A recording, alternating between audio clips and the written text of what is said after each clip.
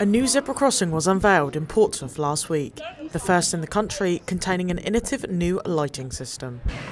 The new crossing on the junction of Palmerston Road and Clarendon Street contains LED panels placed into the road surface, illuminating pedestrians and hopefully improving safety on the roads. The updated zebra crossing was a collaboration between the Portsmouth Department of Transportation and Colas Ltd, a highway service provider. We chose that particular location because it's a very busy crossing, not just in the daytime, but also at night, because Palmerston Road South has got quite a, a big nighttime economy.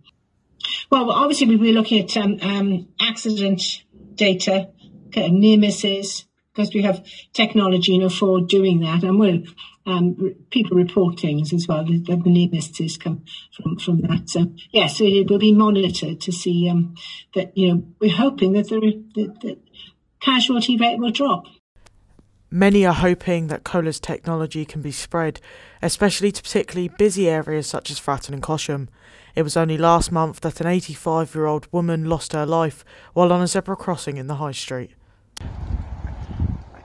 Crossing situation with the um, flashing be more safer for around Portsmouth to have it for all different types of crossings because of the lady who crossed the road in Cosham where the corner I live the driver didn't see her, where it'd be more safer for everyone to have a crossing there with a flashing.